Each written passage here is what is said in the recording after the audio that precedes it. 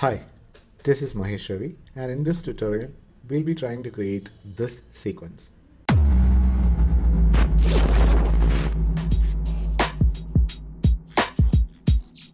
So here we are in uh, Cinema 4D and we'll be using Cinema 4D to create this particular sequence and uh, so let's get started. So we'll be making the dice first and to make the dice we'll start with the cube. So let's go to the um, icon palette and then click to select a cube. So we have a cube right here, just move it um, to the axis like this. All right, so we have uh, the cube right here. So on your right side, you can see the segments that the cube need to have. We definitely need more segments for uh, the dice to work. So what we're going to do is we need to find out how many segments this already has. So let's go to display and turn on Gouraud shading lines.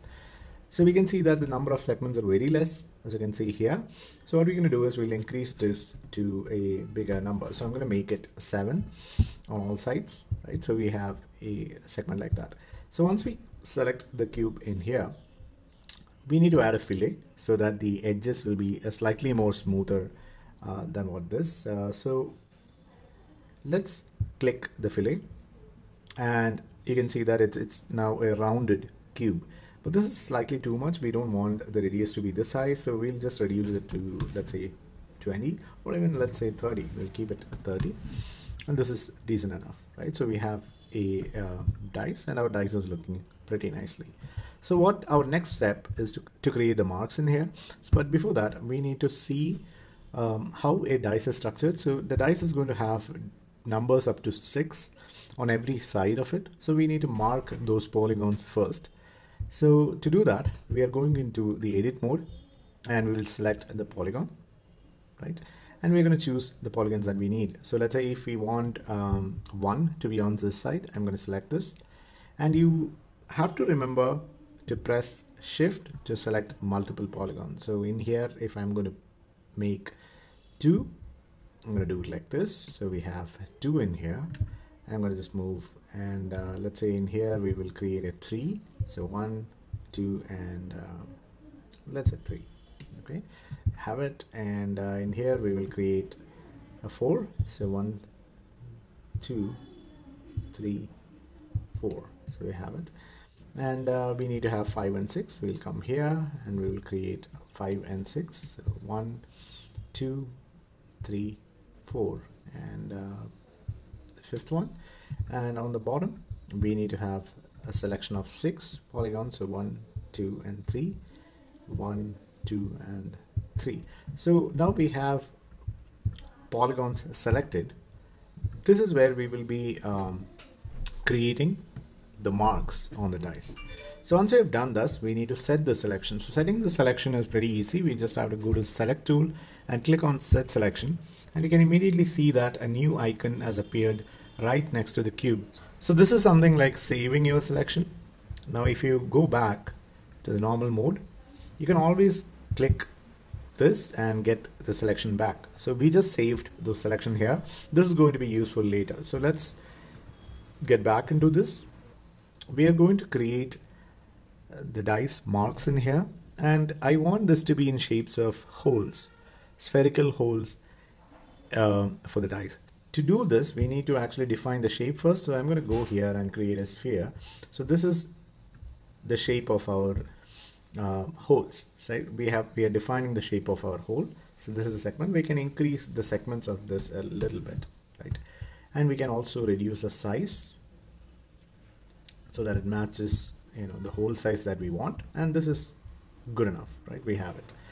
We have to create clones of the spheres so to do that, um, MoGraph will select a cloner and we will drag the sphere into the cloner. Right now we cannot see the cloners because the cloner is actually in the same position as the um, cube. Now we can see this better, right? So three cloners right now, and this is now having a linear distribution. What we want is, we want this spheres to be distributed on the cube object. To do that, we change the mode to object and drag our cube object into the object window here. So right now the spheres are distributed on the cube surface but here is something that we want to do. We want this to be distributed on the polygons of this cube. To do that, we just come down and we can see distribution, change the surface to polygon center. Now we can see that the sphere is cloned to every single polygon uh, what that is available on the cube. Here also what we need to see is that if you remember the previous selection that we have made for the polygons, we need to say that the spheres needs to be cloned only on those selected polygons. So to do that, if you come down, you can see a selection. If You go to the cube, you can see the icon of set selection that we have made earlier. Just drag and drop it into this selection. Now we can see that the spheres are distributed um, based on the initial selection that we have made. And this is looking pretty good. Now what we need to say is that we need to subtract this spheres from this cube to create the uh, dent that we want on the dice. So for that we are going to use another operator. This is called Boole. So let's go here and select the Boole operator. So just bring that in.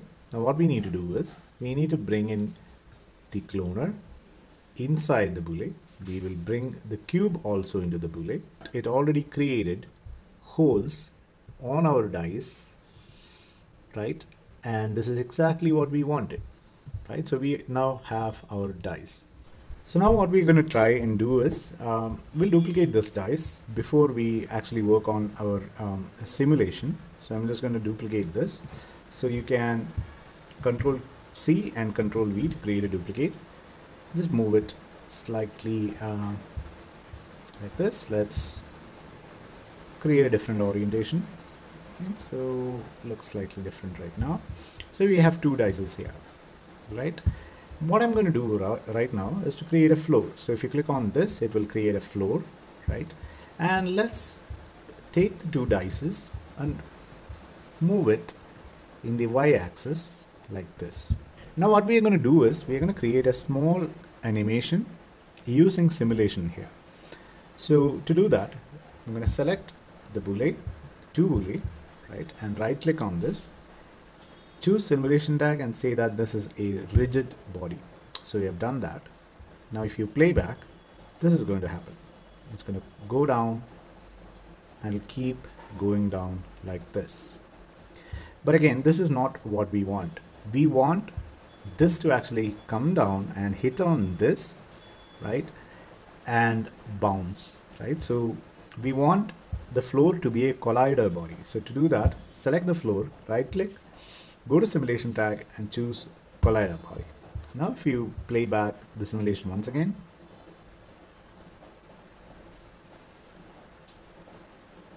this is going to happen.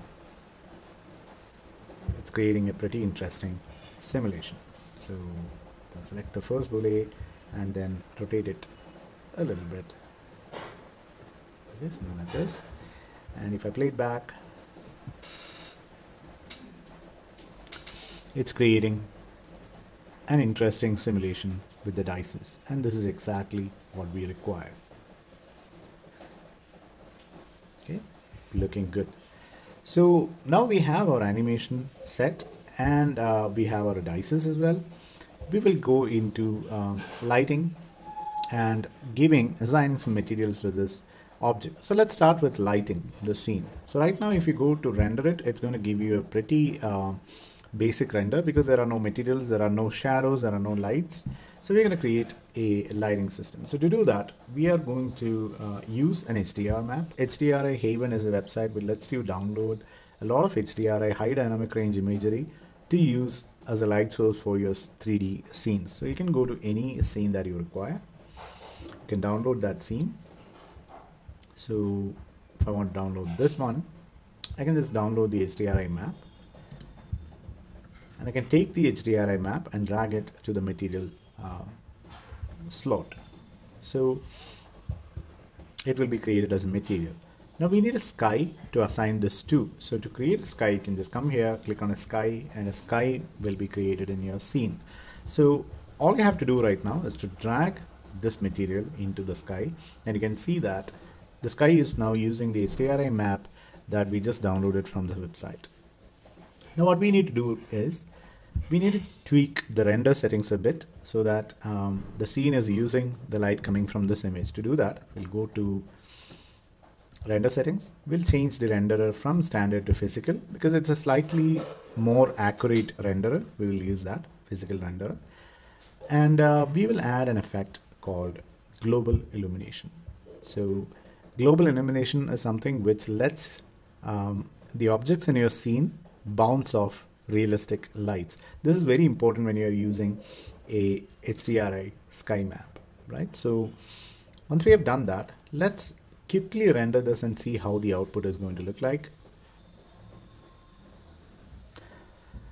It's starting to look really good, but the uh, realistic shadows and the scene is bright enough and you can see everything clearly. This is looking really cool right? So we were using that. Our lighting setup is almost done. Now we need to add some materials into the scene. So let's go a little closer uh, so that we can define the materials which is required in here. So to do that, I'm going to go to create and create a new material. And let's open that up. So we're going to tweak a couple of settings here. We are going to add this material into our cube. So make sure that you open the Boole group and add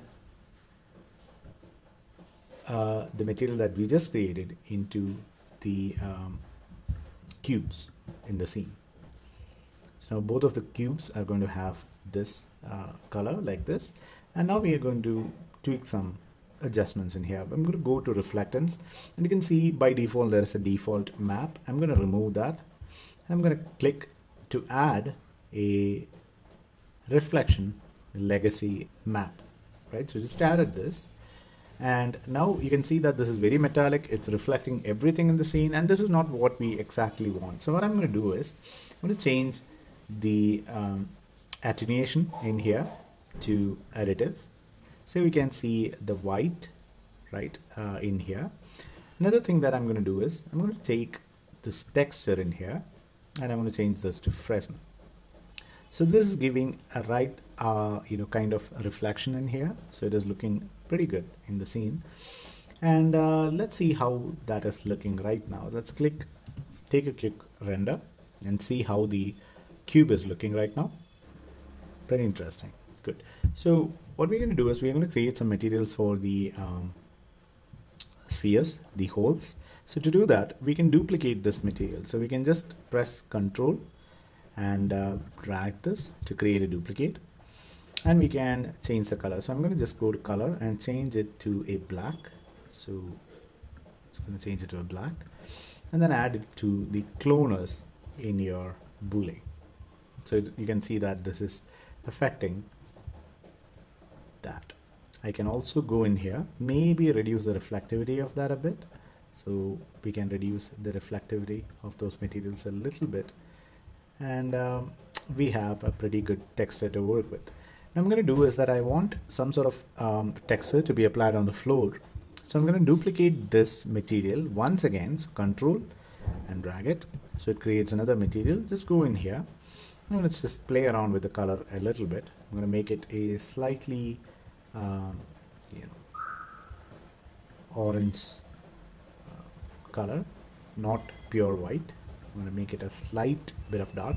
Now in reflectance, I don't want the material to be exactly as reflective as uh, the dice is. So what we can do is we can increase the roughness of this texture. So if you notice here, when we increase the roughness, you can see the reflection is getting slightly off and the texture, the surface is becoming a little more rough. You can see that texture in here. So I'm going to add it to the floor. So now we have the material set. Let's take a quick render and see how our scene is shaped up. Now this is your render right now and it looks pretty good, right? We can see that the dice is a smooth material and it's very reflective. You can see uh, the other dice through it. You can also see uh, the HDRI map being reflected on the dice.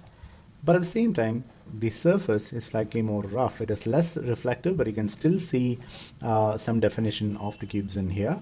So this is going to look pretty good. And once you are happy with the look, we can go into rendering the sequence. And what I'm going to do is, uh, in the output panel you can define your duration so I'm going to take 0 frames to 45 frames to make sure that it's rendering the whole animation sequence and this is fine. You can also in your out save, you can define the mode that you want to save it. So I'm going to save it as a video file and I can mention the formats that I want to save it in. I can save it as a an image sequence or I can save it as an, a movie file, right? So I can do it here. So once you've done that, you can click on this, uh, render to picture viewer and the rendering will start immediately. So that's basically it and this is the resultant uh, video file. I hope you have enjoyed this tutorial and it was easy to follow. Try it out and it's a very, very neat technique. Um, you will be able to adapt this to a lot of different applications. So um, if you like this video, subscribe to watch more videos like this and I will see you soon with a new video. Thank you. Bye.